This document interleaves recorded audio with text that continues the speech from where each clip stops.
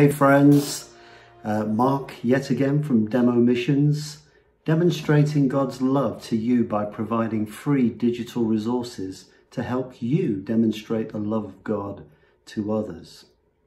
So this is the second of uh, my demo memos and today I want to share with you some thoughts about growing old, about the aging process.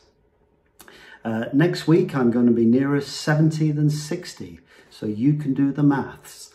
But uh, I want to talk about growing old. I've often heard older people say that there is really no dignity in growing old. And in order to understand that statement, whether you agree, agree with it or not, I think you really got to put yourself in the shoes of older people. As a young man, I was in banking and I used to go and visit on behalf of the bank um, elderly people living in nursing homes and uh, ex-servicemen living in special homes. And um, it really opened my eyes to the reality that for a lot of old people, um, it's, a, it's a very, very difficult uh, time. You've got to put yourself in their shoes and imagine that um, they might not have any family members left uh, and they're just incredibly lonely. I found loneliness was a major, major problem. Um, and in addition to that, many are infirm. And whilst the uh, spirit is willing, the body just will not perform the way that they would like it to. And therefore, they can't get around and can't do the things they would like to do. And so often are just uh, stuck, marooned in a place with nobody to speak to. So in that sense, you know, there really is no dignity in growing old. But I just want to share with you today that I, I do believe that it doesn't have to be that way. Let's, let's just have a look what the Bible says, and I'm referring uh, to some notes here as well. In 2 Corinthians 4 and verse 16, it says this, That is why we never give up Though our bodies are dying, our spirits are being renewed every day.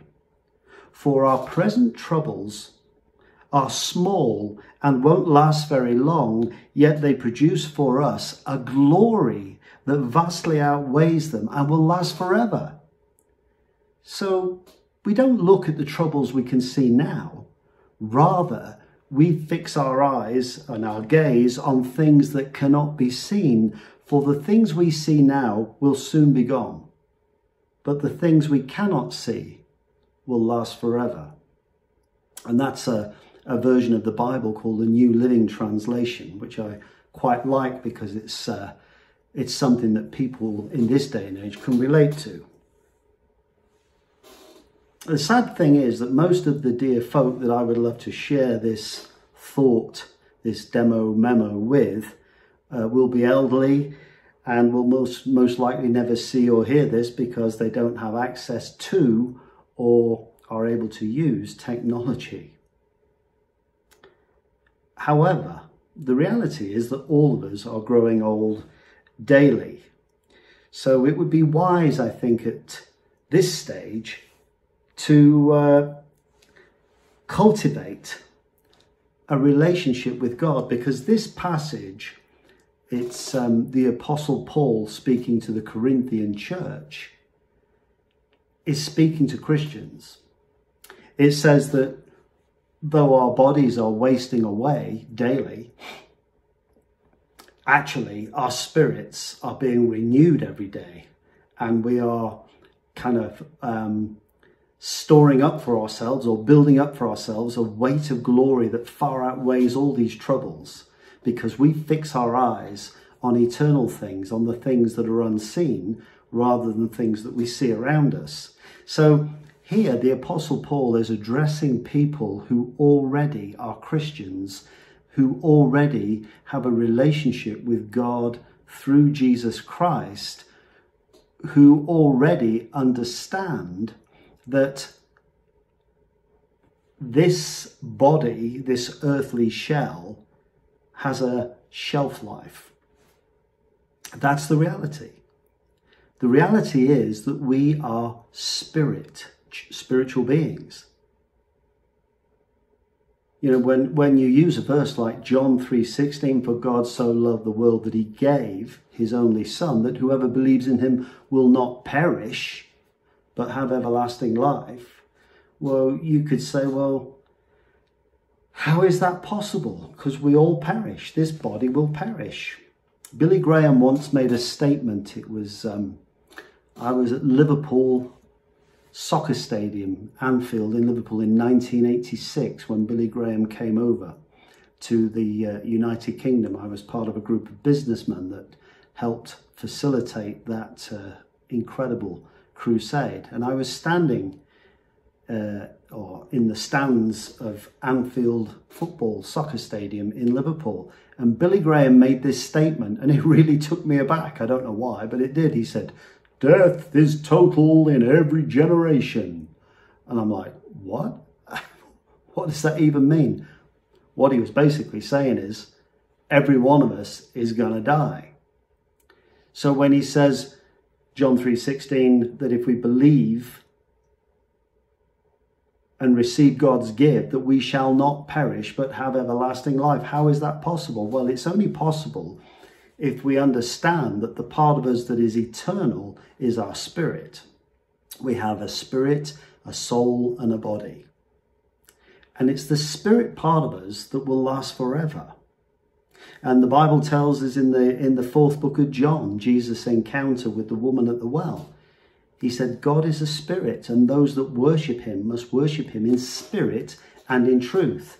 And in John 3, he told Nicodemus, the uh, Jewish leader that he must be born again. In other words, flesh gives birth to flesh, but spirit gives birth to spirit. To be born again is a renewal of our spirit. When we receive Jesus as our Lord and Savior, we receive God's Holy Spirit. He is the one that reveals who Jesus is. And by being born again, by receiving the Lord Jesus Christ as our Lord and Savior, trusting Him for our eternal salvation, we are born again, we receive a new spirit. So that's why I say that it doesn't have to be that way. What doesn't? Growing old has to be a, a sad, um, hopeless thing. If we cultivate a relationship with God now and a relationship with Jesus Christ, because John 3.16 says, that whoever believes in him will not perish, spirit, the body will perish, but will have eternal life.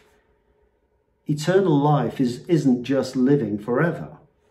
Everybody, if we are a spirit, and we all are, there's a spirit part to all of us, that means we will all live forever. The question is, where will we live? Now, if we receive Jesus as our Lord and Savior, we will live for eternity in the presence of God. If we are not, then we will not live for eternity in the presence of God. And living outside of the presence of God is what some people call hell. Whatever you call it, it's not the best that God has to offer you. So you've got to make a choice, guys, ladies and gentlemen. It's about choices. God is a gentleman. He does not impose his will on us. He gives us a free will. And I'm reminded in the book of Deuteronomy here in uh, chapter 30 and verse 19, God says this. He says, This day I call heaven and earth as witnesses against you that I have set before you life and death, blessings and curses.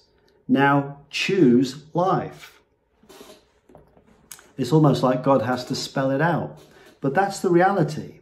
Growing old doesn't have to be a terrible thing though our bodies, as 2 Corinthians 4:16 says, are wasting away daily because this mortal shell has a shelf life, inwardly our spirits are being renewed and achieving for us a weight of glory that outweighs all of these light and momentary troubles that we're experiencing.